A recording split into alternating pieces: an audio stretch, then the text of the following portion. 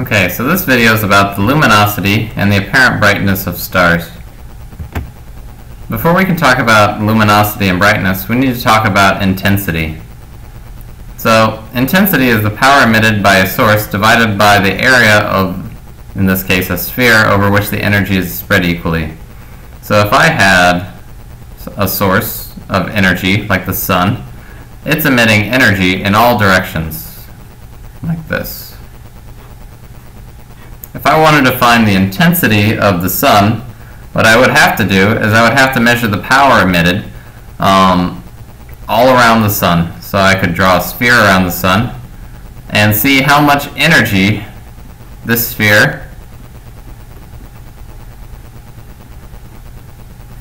try measure in joules is absorbing over some specific time. So I might say time in seconds. So if I had a joule second here, I'd be able to measure the amount of energy coming into the sphere um, in watts. And that would be the power absorbed by the sphere. And then because I have it spread over the sphere, I would have to divide by the area. So it would be power in watts per area, which might be in meters squared. Okay?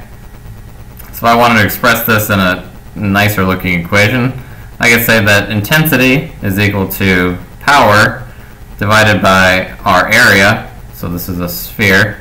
So we're going to say 4 pi r squared, which is the surface area of a sphere. Okay, but when we switch to talking about stars, we don't need an entirely new equation. We just need to change some of the vocab associated with this equation. Okay, so for stars, we talk about luminosity instead of power.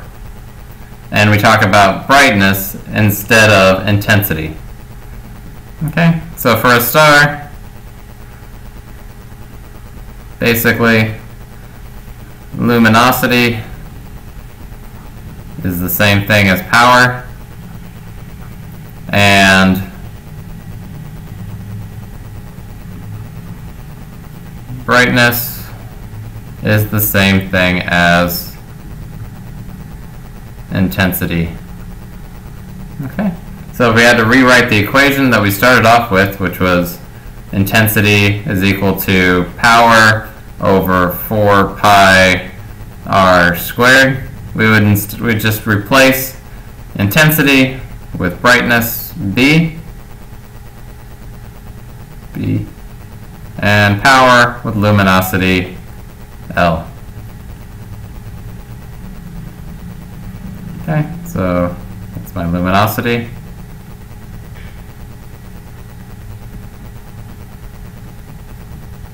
And that's my brightness.